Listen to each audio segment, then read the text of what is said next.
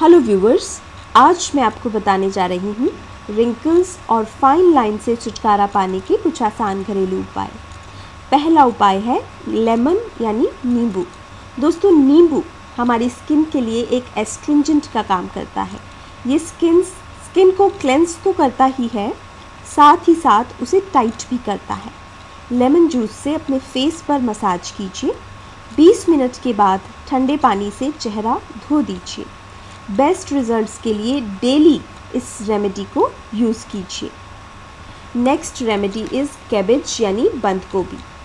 बंद गोभी भी रिंकल्स से छुटकारा पाने का एक असरदार उपाय है। कैबेज जूस हमारी फेशियल मसल्स को टाइटन करता है। कैबेज जूस से फेस पर मसाज कीजिए और जब ये सूख जाए तो गुनगुने पानी से चेहरा धो दीजिए।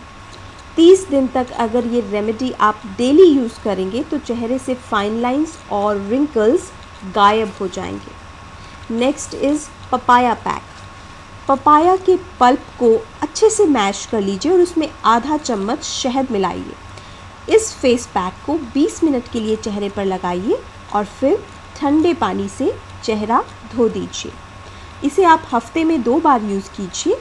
रिंकल्स और फाइन लाइन धीरे धीरे दिखना बंद हो जाएँगे। एग वाइट भी एजिंग स्किन को क्योर करने के लिए बहुत ही बेनिफिशियल है। एग वाइट में थोड़ा सा कोकोनट ऑयल मिक्स कीजिए और फेस पर अप्लाई कीजिए। सूखने पर चेहरा धो दीजिए।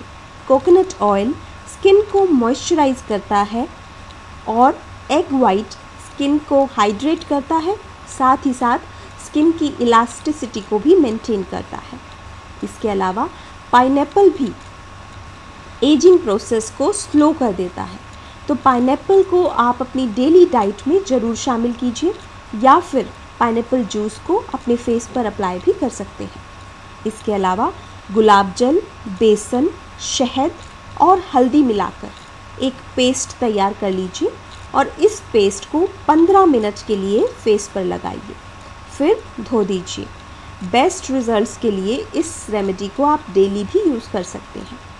इसके अलावा हेल्दी और बैलेंस्ड डाइट लीजिए और स्मोकिंग पॉल्यूशन स्ट्रेस और डायरेक्ट सनलाइट से जहाँ तक हो सके बचिए। तो ये थे रिंकल्स और फाइन लाइन से छुटकारा पाने के कुछ आसान घरेलू उपाय।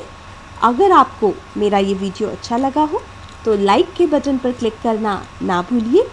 और अधिक हेल्थ और ब्यूटी रिलेटेड होम रेमेडीज़ जानने के लिए आप मेरा चैनल भी सब्सक्राइब कर सकते हैं। Thank you.